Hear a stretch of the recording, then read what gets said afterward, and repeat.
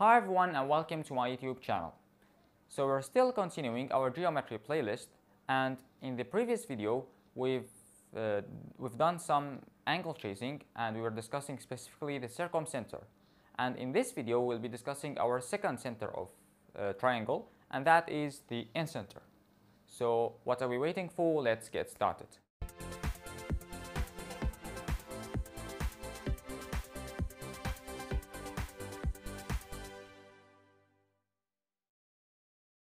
So what's the definition of the incenter?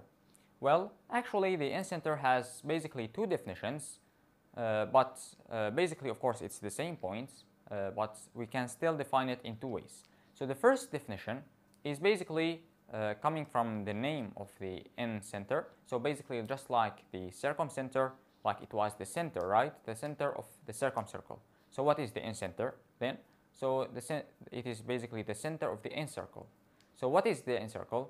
Uh, basically the incircle is the circle that is touching the three sides of the triangle from the inside. So basically like let's uh, assume like we have here like as we agreed we start by drawing the circle because it's much easier. And then like we need uh, to have our triangle uh, like the three sides of the triangle tangents to the uh, to the circle to the incircle basically. So let's draw a tangent here another tangent here. Let's extend that.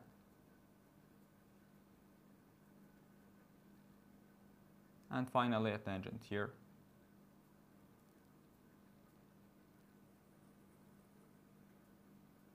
Okay, so basically, if we like if this triangle was ABC, then we call this circle, which is the circle that is tangent to the three sides of the triangle AB, AC, and BC. From the inside, we call it the incircle, the incircle.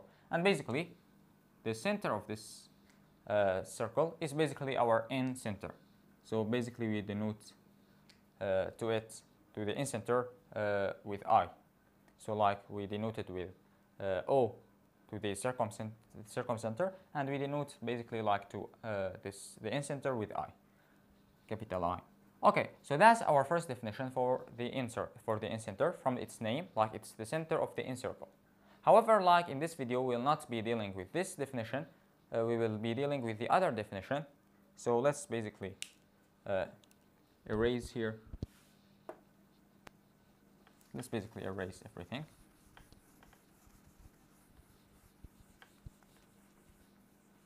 Okay, so what is the second definition of the incenter? Well, it's very famous. It's basically the concurrency point of the three angle bisector, the three internal angle bisectors of the triangle ABC. So first of all, like let's try uh, drawing a triangle ABC.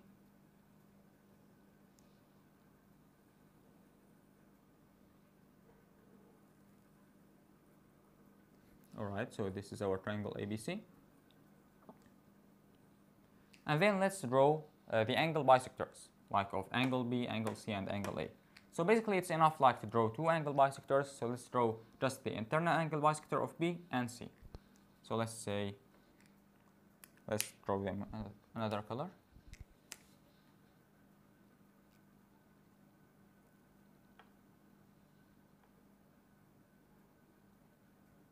Alright, let's say this is the angle bisector of B and this is the angle bisector of C. Uh, and they two like meet uh, at the incenter, which is I. Okay, so this is I. All right, so like this is the second definition, and you can see why we like we want to use this definition, not the, the previous one, because like here we're doing angle chasing, right? And here in this definition, we have three angle bisectors, and this is perfect for angle chasing, right? In fact, we can immediately find all the angles uh, like unlike our previous video with the circumcenter here we can at once find all the angles uh, at once. So let's see let's see why. So first of all we want like to find this angle and of course this one and this one. However, because this is an angle bisector, then guess what? What is this angle and this angle? They are both uh, c over 2. They are both c over 2, right? Because it's an angle bisector. It bisects the angle c. So this is c over 2. And this one, 2 is c over 2. What about this one? Well, the same, b over 2 and b over 2. Alright, so now we immediately found both this angle and this angle. Now we want to find this one, and that's really simple. We have one triangle, we, we know two angles, so we can find the third one, right? Okay, so what is it? So actually, uh, BIC, like let's write, write it here.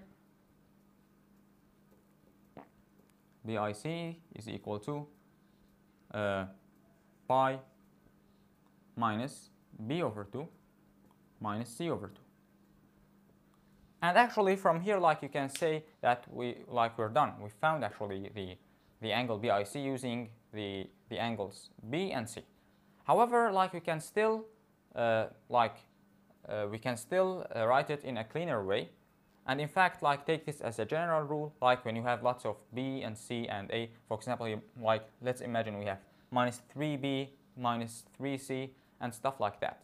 Well you can usually uh, reduce it and of course because we know that a plus b plus c is equal to uh, pi that means we can always like try to simplify uh, stuff uh, for example let's take a let's take a look here so take a look. Here we have minus b over 2 minus c over 2.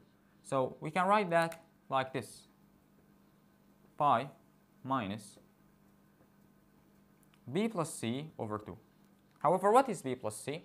Well, b plus c is pi minus a, right?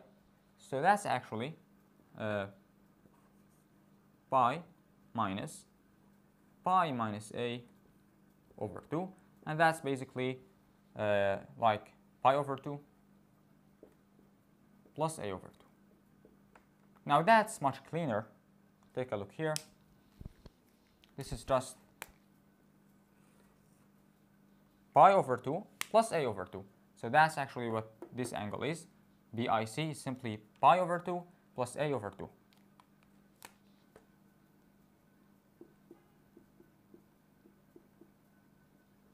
Alright, and in fact like uh, if you prefer to use degrees, then you can write it as uh, 90 degrees plus a over 2.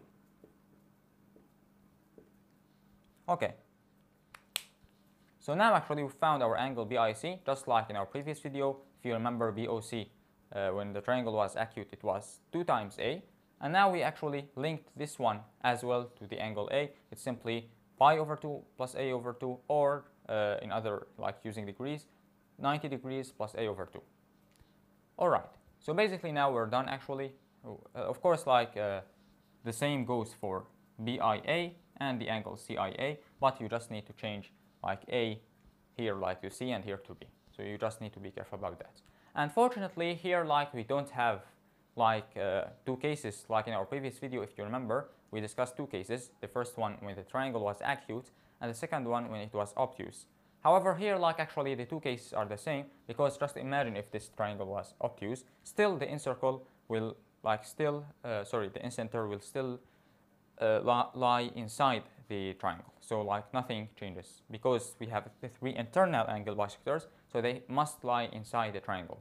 So no difference at all. We can still say that it's pi over 2 plus a over 2 no matter what is the type of our triangle. Okay, so in this video we've discussed the, the incenter and in the previous video we've discussed the circumcenter. So in the next video we'll be discussing our third and final actually uh, center of triangle and that is the orthocenter. So please uh, guys uh, like the video, share and subscribe to the channel and see you guys in the next video.